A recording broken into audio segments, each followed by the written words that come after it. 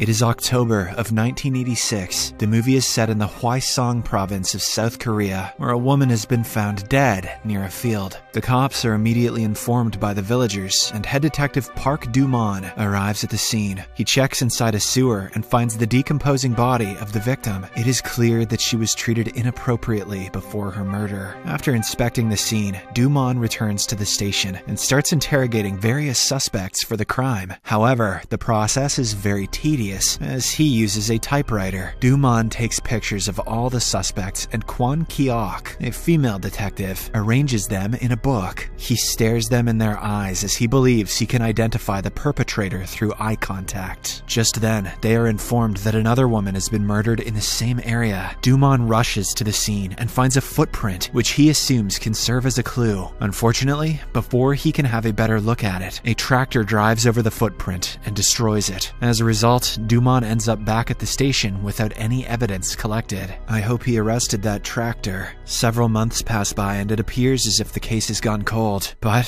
one day, Do-mon learns from his girlfriend that Bayek, a mentally scarred, handicapped boy, had been stalking the second victim before her death. Finally finding a clue, he immediately brings Bayek to the station and interrogates him. Then, Do-mon, along with another colleague, beat him up mercilessly. They try to force a confession out of him, but the poor guy only admits that he was stalking her. In the next scene, a man is seen approaching a woman on a silent road. He tries asking for directions to a certain place, but she does not respond. This is because everyone in the town has become terrified due to the recent murder cases. The woman tries to run away, but only ends up falling in a heap. Just then, Do-mon appears and instantly jumps on the man, assuming that he is attacking the girl. Later, he learns that the man is Seo Tae-yoon, a detective from Seoul who has volunteered to assist with the case. On their way to the station, Do-mon goes to the crime scene, makes a footprint with Bayek's shoes, and takes a picture. He then goes back to the station and tries to beat a confession out of Bayek. This time, however, he shows the photos of the fake shoe prints. Despite this, Bayek still denies being related to the murder. Fed up, the detectives take Bayek to a field and threaten to bury him alive. So, the latter hesitantly starts explaining what happened that day. He reveals that the victim was strangled with her bra first, and then tied with her stockings. So far, this all sounds hot, Bayek. When do things start going downhill? Hearing this, the detectives are shocked, as back then in Korea, crimes like murder and physical assault were less prevalent. They demand to know more, but when Bayek says, I don't know, they start beating the hell out of him. The next day, Bayek is declared the killer and is taken for a spot inspection in front of the reporters. Fortunately, Tae-yoon arrives in the nick of time and interrupts them. He checks Bayek's hands, which are severely scarred, and asserts that there is no possible way he could have tied the knots around his victims. Hearing this, the villagers realize that Bayek is being framed, and so they attack the officers. They are willing to support their local friend no matter what. In the following scene, we are introduced to Tae-yoon's new colleague, Shin Dong-chul, who has been transferred to lead their team. Dong-chul gets straight to work and asks the other officers if there were any similarities between the murders. However, they're speechless, simply because they have spent their entire time framing an innocent man when they could have gone after the real killer. Fortunately, the smart guy, Tae-yoon, briefs them that all the murders happened during rainy days, and the victims wore red clothes. Then, Dong-chul asks if both the victims died the same way, too. But Tae-yoon's answer surprises all of them. He reveals that there were three victims, among which one is yet to be found. It turns out that in the past week, a third girl who was wearing red clothes went missing on a rainy day. In no time, the third body is found, and Tae-yoon is proven right. The police then confirm the murder pattern and regard the case as a serial killing. Since the cases have too many similarities, Dong-chul suggests they prepare for the next time it rains, as that is when the killer is likely to strike. One day, while the detectives are helping suppress a student rebellion, it suddenly starts raining. All of them get ready to implement the plan. The female detective Kui-ok dresses in red and walks around the area where the murders took place, hoping to lure the killer. Unfortunately, even after hours of waiting, no one arrives. Hence, the detectives head to a checkpost where they meet two schoolgirls. One of them tells a story about an assumed killer who apparently hides in the toilet throughout the day and only comes out at night. Stiff competition for Oscar the Grouch. As expected, the detectives find the story hilarious and they simply laugh it off. Meanwhile, we see a lady at home listening to the radio when she gets a call. The person on the other end asks her to immediately visit him. The lady, who is wearing a red jacket, decides to switch it, hoping she doesn't doesn't get attacked. Once she gets out of her house, she starts humming a song to keep herself distracted. But just as she reaches the fields, she hears someone whistling, which makes her stop in her tracks. The woman knows what's lurking in the dark, so she attempts to make a run for it. Unfortunately, before she can call for help, a man suddenly pounces on her. The next day, the detectives find her lifeless body. The rainy day toilet boy strikes again. Just like the others, she has been strangled to death with her own undergarments. Later, at the police station, Kuyok insinuates that she has something important to show. She brings what looks like a list of songs played on the radio and reveals that the same song was played every time a murder occurred. Kuyok further discloses that a person requested the song to be played on rainy days, which coincidentally matched the murder dates. Duman just laughs it off, which is ridiculous. What kind of detective does Duman think he is? But Dong Chul and Tai Yun look for information regarding it.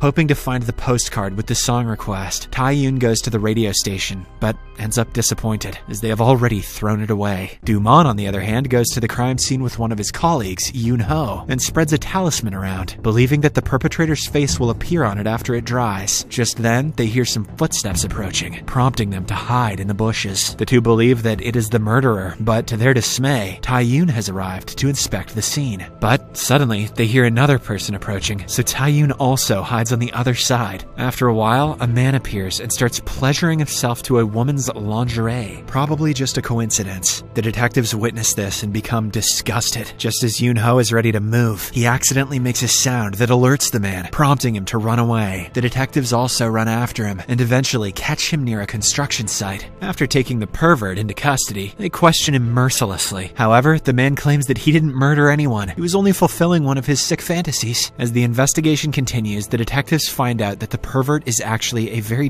diligent person who takes good care of his family. Outside, of the villagers find out about it and start protesting for the release of the man. They are fed up with police brutality and discrimination. Hey, let us be perverts, you guys. Yeah, let us kill people. I mean, let, let us be perverts, yeah. Frustrated that the investigation is going nowhere, Tai Yun goes to meet the girls who told him about the rumored murderer hiding in public toilets. After talking to them, he goes to the said toilet and finds a woman there. Initially, she doesn't open the door, but when Tai Yun mentions that he is a detective, she agrees to help. The woman then leads him to a house where the rumors began. It belongs to an extremely terrified lady who is a survivor of a similar attack. Tai Yun listens to her story and realizes that the lady was also attacked by the serial killer they are looking for. However, the only useful piece of information he learns is that the perpetrator had very soft hands. So, he rushes back to the station and checks the pervert's hands. When he confirms that they are not soft, he lets the innocent man go, much to the annoyance of Duman. Just then, Kuyok turns on the radio where the murderer's song is playing. Coincidentally, it has started raining as well. Realizing that a murder is about to take place, Kuyok rushes to the radio station to get the postcard. Unfortunately, just after an hour, they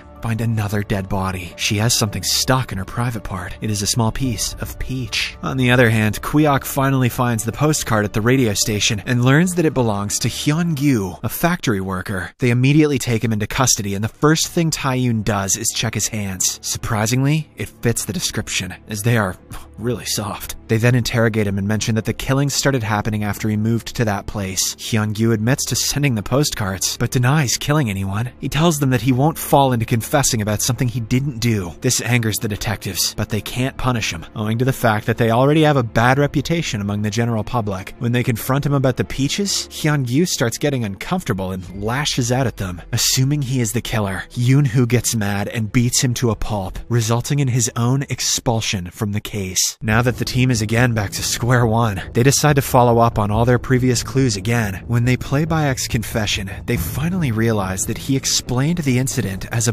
bystander. So, the detectives make their way to Bayek's family restaurant. On reaching there, they find an intoxicated Yoon-ho, who gets into a fight with random people. Suddenly, Bayek arrives at the scene and hits Yoon-ho with a wooden board that pierces his leg with a rusty nail. Realizing what he has done, Bayek flees and unintentionally arrives at the scene of the first murder. Soon, Duman and Taeyun also arrive. They again begin coercing him for more information. Bayek finally gives in and tells them that he saw the killer's face three times. Thinking that they are close to solving the case, they show him Hyun-gyu's picture, but Bayek instead starts rambling about a house fire. Suddenly, an angry mob of villagers approaches the detectives to teach them a lesson. This scares poor Bayek, and he starts running here and there aimlessly. Unfortunately, he doesn't notice an approaching train and gets struck, resulting in an instant death. The next day, with the news all over, the police station gets a lot of calls. One of them is from the forensics lab, revealing that a semen sample was found. The only problem is that the technology in Korea is too primitive to inspect it. This cum is too mysterious, sir. So, they have to send the semen sample to the US and wait for the results. Meanwhile, Duman gets some devastating news from the hospital. It turns out Yunho's leg has to be amputated due to the spread of tetanus caused by the rusty nail. Somewhere else, a woman is on her way to work. She is walking extremely cautiously because of the news she has been hearing lately. Shortly after, a schoolgirl walks past her. Despite the scary situation, the two don't even interact with one another.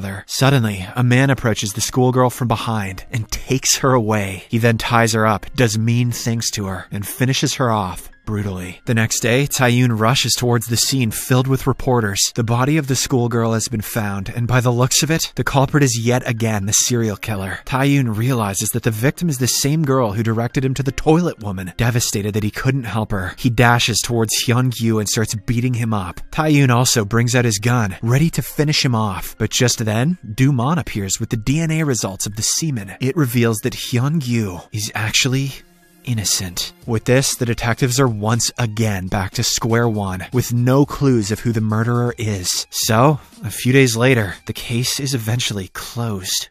The movie then skips to the year 2003, where Duman is having breakfast with his family. He is now retired from the force and has become a successful businessman. One day, he goes to the same crime scene, which was once filled with the dead bodies of women. Duman looks at the drain where he found the first body, when suddenly, a little girl walks up to him. She reveals that another man was checking the drain some time ago, just like him. The movie ends as a shocked Duman looks at the camera, realizing that the killer may still be around. The movie is based on a true story about South Korea's first serial killer. In total, he killed 15 women, and the case remained unsolved for 30 long years. When Memories of Murder was released, the case was still a mystery. But in 2020, using the help of advanced medical forensics, the killer was finally revealed to be Lee Chun-jae. He is now serving a life sentence. Too bad they couldn't catch him earlier, so this